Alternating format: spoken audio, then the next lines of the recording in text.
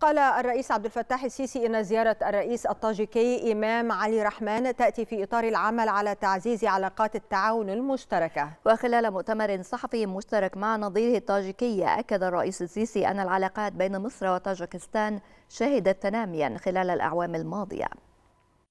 أود بداية الإعراب عن تقديرنا للحرص الذي لمسته من جانبكم على تعزيز التعاون الثنائي في مختلف المجالات بين البلدين واعتزازنا بعمق العلاقات المصرية التاجكستية والتي شهدت تناميا خلال الأعوام الماضية والتأكيد على أهمية العمل على تفعيل أطر التعاون القائمة بما يتناسب مع إمكانات وقدرات البلدين ويحقق مصالح شعبيهما.